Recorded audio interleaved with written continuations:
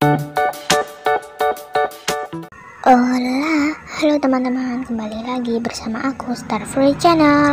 Di videoku kali ini aku akan membagikan tutorial cara membeli pulau baru plus cara untuk memperluas lahan di pulau kita ya. Oke, pertama kalian pilih pulau apa aja yang ingin kalian beli. Aku belinya pakai koin instan. Kalau kalian belinya pakai dolar, seharga 500.000 itu harus nunggu dulu selama 3 jam ya. Oke, setelah itu kalian masuk. Setelah masuk, loading dulu. Lumayan lama sih loadingnya. Lalu akan muncul tampilan seperti ini ketika sudah masuk ya untuk membeli lahannya kalian tekan yang seperti peta warna hijau agak tua gitu. Judulnya ekspansi kalau di game ini.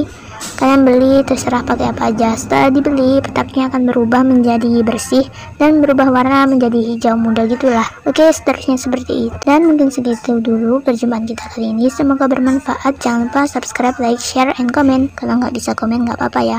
Dan mungkin di video selanjutnya aku akan bagiin versi moodnya. Oke kalau gitu aku akhiri dan ucapan terima kasih dan sampai jumpa. Dadah